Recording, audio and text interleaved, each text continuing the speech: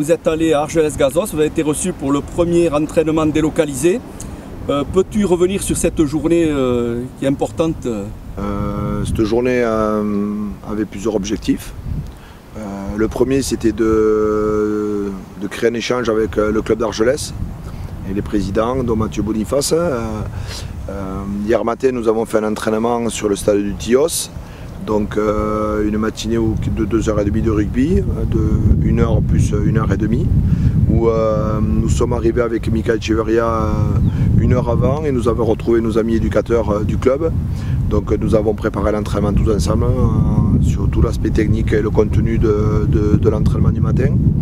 Et, nos amis éducateurs d'Argelès nous ont aidés à mener l'entraînement toute la matinée.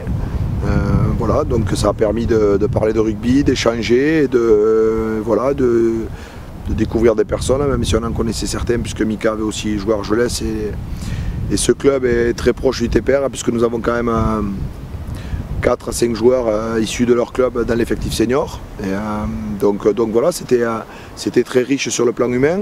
la qualité des installations ont fait qu'on a pu faire un, entraînement de qualité.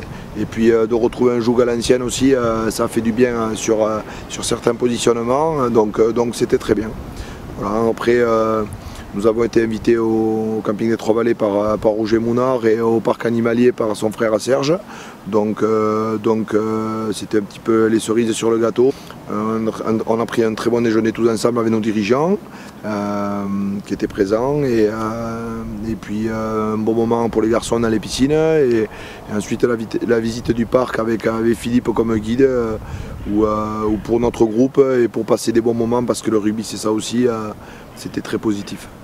Une journée donc réussie, il y en aura d'autres? Oui oui mais euh, depuis quelques temps, on, passe des moments euh, dans des endroits de Bigorre euh, où, nous sommes toujours superbement accueillis avec l'esprit des gens qui règnent ici. Et, ça permet de voir aux joueurs du club et, aux, nouveaux pour qui ils jouent. Et, puis voilà de porter les valeurs de la Bigorre, ça fait partie, ça doit faire partie de notre de notre façon de vivre et de jouer. Donc euh, c'est très bien. Et, oui, il y aura d'autres euh, déplacements. Euh, Antoine Nunes souhaite avec tout le bureau que, nous fassions des journées de, ce style et, créer des échanges et, d'une certaine façon renvoyer l'ascenseur au club qui, voilà, forme des jeunes et pour qu'ils puissent jouer au meilleur niveau.